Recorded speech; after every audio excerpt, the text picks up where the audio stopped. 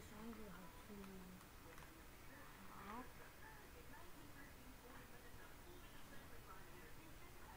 very, first thing you want to do is go ahead and log into your account.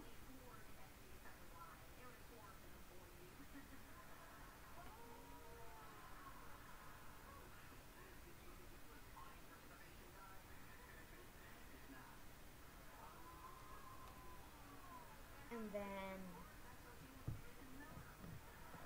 you go to your friends.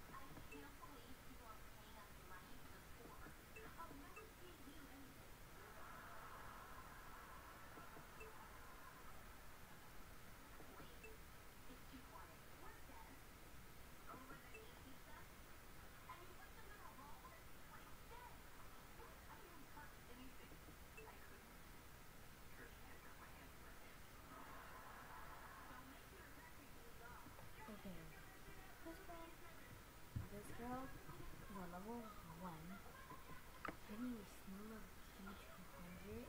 I'm pretty sure I have it. Okay, your